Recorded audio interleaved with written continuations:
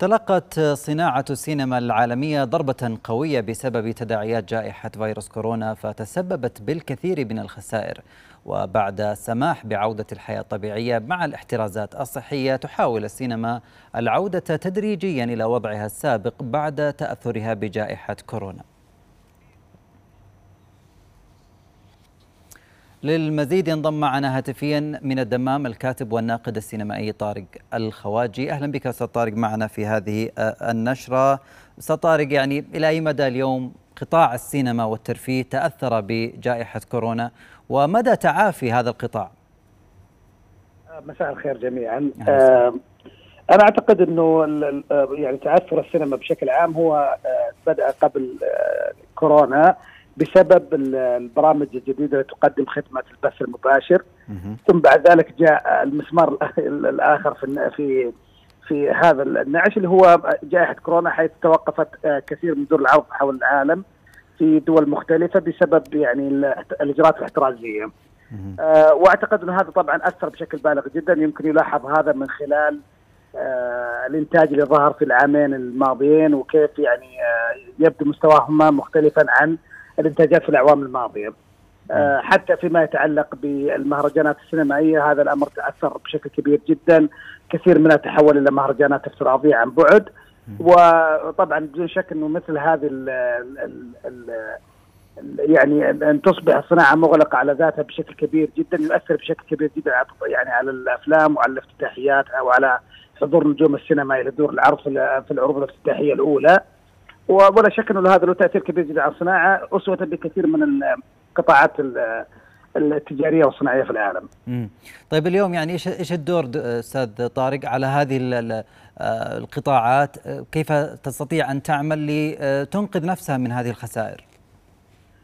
وطبعا يعني الحاجة أم الاختراع يعني بمعنى إنه بما أنه بدأت مشكلة ظهور البرامج اللي تبث بث مباشر من خلال خوارزميات محددة مثل نتفلكس وعندنا في العالم العربي شاهد وفي مثلا حول العالم في ديزني وأمازون برايم وغيرها.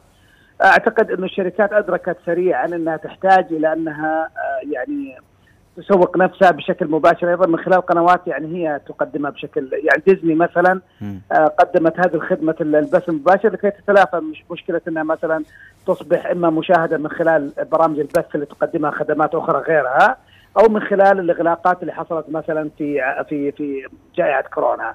فانا اعتقد إنه إنه يعني دائما كل ما ظهرت مشكلة يحاول الناس دائما والمبدعين غالبا أنهم يجدون طرق أخرى للعمل فيها. م. أعتقد أنه أيضا أحد الأشياء اللي ظهرت بشكل كبير جدا أنها كانت فترة مناسبة لتجويد نصوص كثير من الأعمال التي كان يراد أن تقدم في سنوتين السنتين الماضيتين لكن تم الاشتغال على تطوير هذه النصوص ومعاودة آه يعني تقديم ورش عمل في في في أعمال كبيرة جدا مشهورة ستصدر قريبا يعني على سبيل المثال مثلا فيلم الدونز أو الكثبان الرملية اللي اللي حقق سابقا الان يعاد إنتاجه مرة أخرى فترة كورونا كانت مناسبة جدا لفريق العمل المخرج إنهم يستمرون على العمل وتطويره بشكل كبير جدا حتى يصبح مناسب للعرض في الشهر القادم إن شاء الله.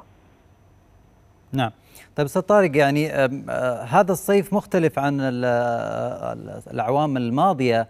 يمكن الأعوام الماضية معروف أن هذه الأشهر تحديدا من السنة يكون هناك أفلام تعرض وهناك طلب وحجز مسبق لهذه الأفلام. التأثير واضح أنه استمر حتى هذا الصيف يعني لم نشاهد تلك الأفلام التي حققت مبيعات كبيرة. صحيح. يعني إذا استثنينا مثلا فيلم Fast Furious مثلا في في النسخة التاسعة معظم الإنتاجات الموجودة اليوم إيه ليست الانتاجات التي تشابه ما يسمى بال blockbusters أو أو أو, أو, أو الأفلام اللي تهز شباك التذاكر يعني في سواء في أمريكا واوروبا أو في الهند أو في مصر أو في العالم بشكل يعني عام. فأعتقد إنه نعم يعني يعني مثل ما أوردت سابقا حتى في المهرجانات السينمائية بدأ يعني إنه مستوى الأفلام ليس يعني يشبه مستوى الأفلام في الأعوام الماضية لا لا من حيثية الكم ولا من حيثية النوع. أخيرا يعني أستاذ طارق اليوم مستوى الإنتاج السعودي كيف ترى أيضا تأثره بالجائحة ويعني الخطة القادمة للانتاج السعودي كيف ستكون برأيك؟ يعني أنا أعتقد إنه من الأشياء الجميلة اللي شاهدناها في هذا العيد إنه كان أحد الأفلام اللي معروضه في يعني أحد دور السينما اللي موجودة في السعودية كان فيلم سعودي لمحمد الهلي اللي هو 40 ليلة و40 عاما وليلة. وأنا أعتقد إنه إنه حضور هذه الأفلام حضور أفلام سعودية في السينما بشكل دائم هو صراحة مؤشر جيد على إنه على امرين على أمر إنه في في تطور كبير جدا في صناعة السينما بالسعودية. والأمر الثاني إن الجمهور بدأ يتقبلها يعني بدأ الجمهور يعتقد إن الأفلام هذه تستحق الحضور مقارنة وأسوة بأفلام أخرى جاءت من مناطق يعني لها تاريخ طويل و, و وعميق في السينما.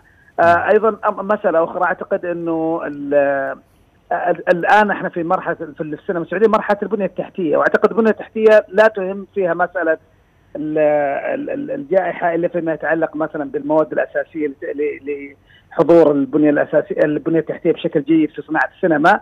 والا الأمر يعني أعتقد إنه هذه الفرصة متاحة. وكأنها جاءت يعني مثل ما يقال مصائب قوم عند قوم فوائد. يعني إن أعتقد إنها فرصة سانحة وأعتقد إنه دائما هذا هو التاريخ يكرر نفسه إنه استغلال الفرص دائما هو ما يحقق النتائج الأفضل والأكبر دائما. أكيد وبانتظار دائما الإنتاجات السعودية والمتميزة التي تحقق هذه النتائج الإيجابية، شكرا جزيلا لك أستاذ طارق الخواجي الكاتب والناقد السينمائي. كنت معنا هاتفيا من الدمام.